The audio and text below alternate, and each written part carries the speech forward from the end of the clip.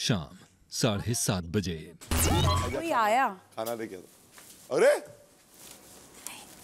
Hello welcome back तू तो पाँच किलो वज़न कम करके लौटी लड़की। कैसी है?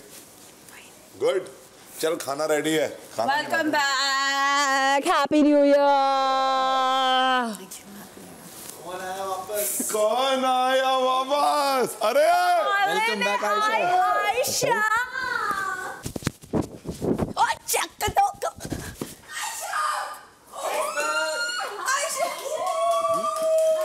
बढ़िया पतली दुबली होके तो और प्यारी सुंदर होके लौटी भाई। पाँच किलो वज़न कम करके लौटी है लड़की।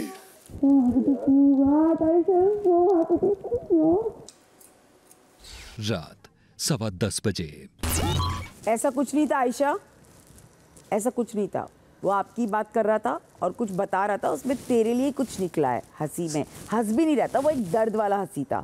किसी की बातों में आना मत ज़्यादा। यहाँ सब तेरे नाम से भी कुछ कुछ बोल रहे थे जब तू नहीं थी तो बोलना मत पीछे से। मैंने देखा है मैंने मैंने उसके मुँह पे जाकर आपने बोला। होगा मैं आपको बोल रही से हूँ पूछना। मैं आपको बोल अंकिता रही जी हूँ। मैंने उसको मुँह पे जाकर के बोला था. स्माइलिंग अंकिता जी। नहीं नहीं कोई स्माइल नहीं कर रहा था वो। मैंने उसको जाके confront- मुन्ना मुन्ना तू हंस रहा था?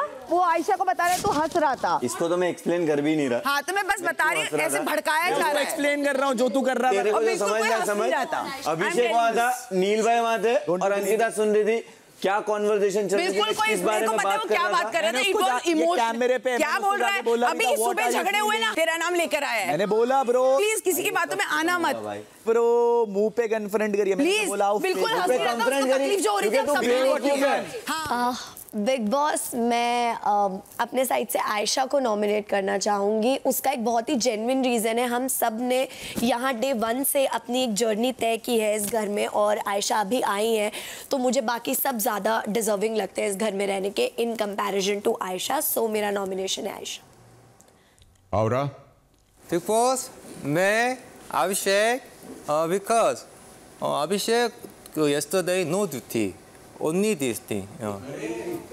Duties वो I I- I I know, I duty roti yeah. Chapati Yeah. Bathroom also roti was voluntary Arun, one hour one checking yeah, okay okay but I did तो कैप्टेंसी हासिल कर चुके तीनों सदस्यों ने अपनी बात कह दी है और जो सदस्य उनके मुताबिक शो के अंत के करीब आते आते इस मुकाम पर अपनी जगह डिजर्व नहीं करते हैं वो हैं अनुराग आयशा और अभिषेक। आप तीनों होते हैं इस मोहल्ले से बेघर होने के लिए नॉमिनेट